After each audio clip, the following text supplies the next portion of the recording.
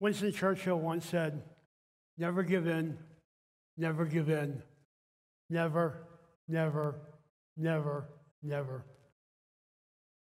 Now, I joined the Marine Corps during my second year of law school and served as a criminal defense counsel and then as a criminal prosecutor. But when I deployed to Iraq in the fall of 2006, it wasn't in the role of a JAG officer. In the Marine Corps, all the officers learn the basics of many different positions. So I volunteered for the deployment as a civil affairs team leader.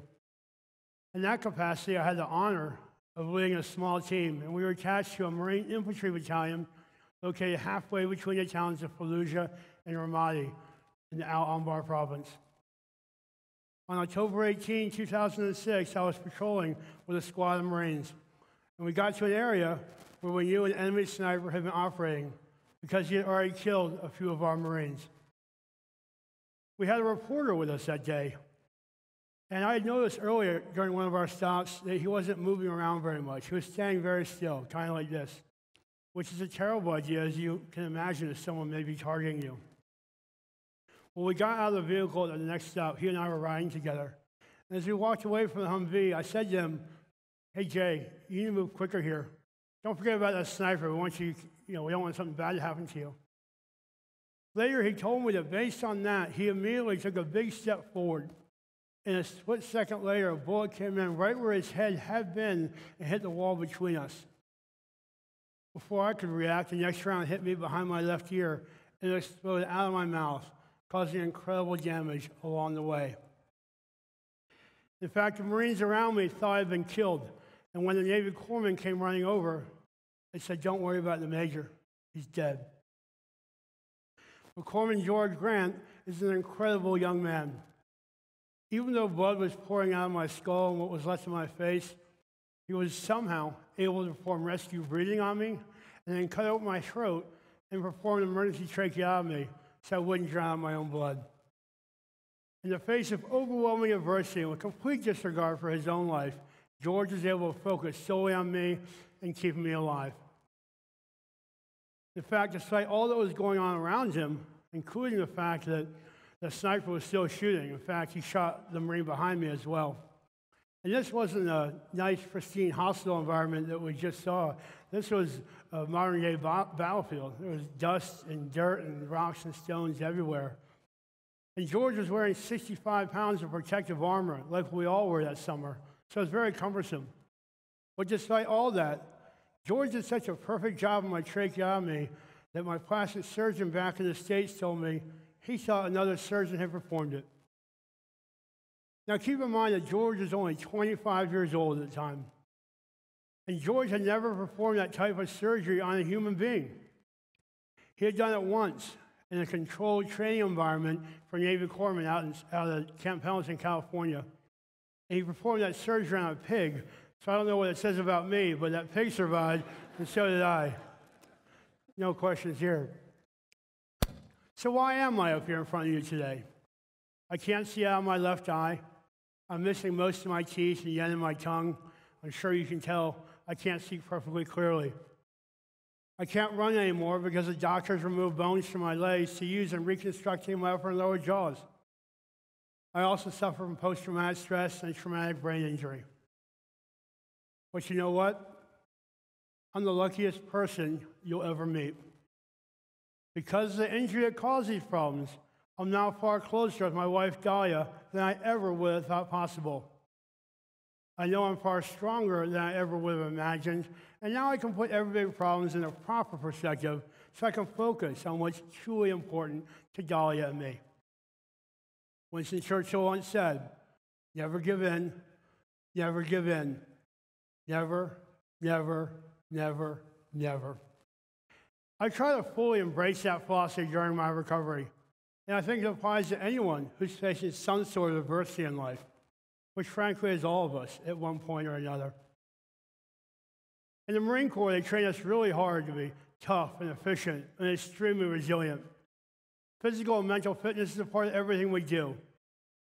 But leading up to that deployment back in 2006, and remember, I don't come from an infantry background, if someone had really been able to describe to me what it's like to carry two weapons and hundreds of rounds of ammunition and as I said, 65 pounds of protective armor, and conduct long foot patrols, five or six or seven hours long in a given stretch, all in 100, 110, 115 degree heat. I very well may have said, you know what, I can't do that. But I could, and I did. Because we are all stronger than we think we are, and we're each capable of overcoming the toughest obstacles. It's, remember, it's, it's important for you to remember that when you're having a bad day, or a bad week, or maybe even a bad month, and it feels like your whole world is caving in around you. The bottom line is if you dig deep, you're going to find resources you may not have known you have before. We are all survivors. We have all overcome adversity of some sort. We've all fought our share of battles. But we've all become smarter and stronger and wiser and braver because of those struggles that we endured. Maybe not right away.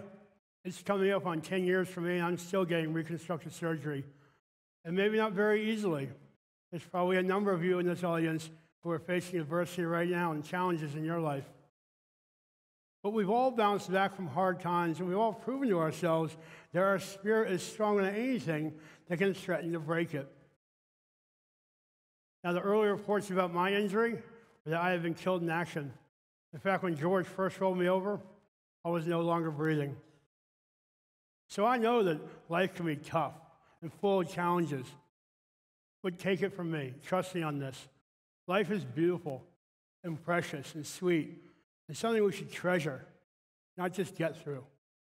Life should be about celebration, not merely survival. So you need to take life's challenges around and fight through them, just like I did. And if I can do it, so can each one of you.